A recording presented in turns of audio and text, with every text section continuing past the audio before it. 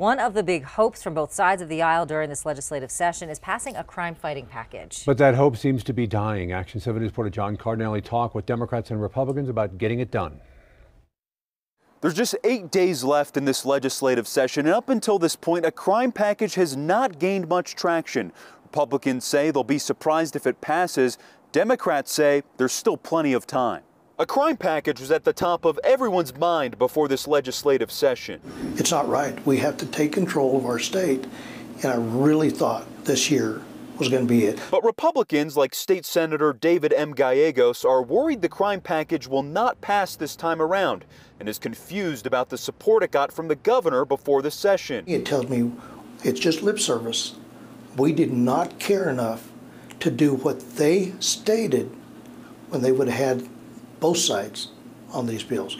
And it's important. I don't know where we go from here. However, those across the aisle, like Democratic New Mexico State Representative Daymon Ely, says that's not the case. I, this is the sixth year I've been here, and uh, people always say that, and there's eight days left, which is a ton of time. Representative Ely says some of the legislation earlier on in the session didn't pass because it had flaws, but believes bills during the final days of the session will gain traction. The programs that we're talking about have left the House. They're going to the Senate. The governor will weigh in. The Senate will weigh in. Uh, we have lots of programs, and, and leading that is going to be the violence prevention program in Albuquerque. At this point, Representative Ely says he's not worried about a crime package not passing. There'll be a crime package. It won't be what everybody, it, not everybody's going to get what they want, but I, it's 100% it's going to get through. Republicans remain hopeful but doubtful. They may make a liar out of me, and I'd be grateful for it.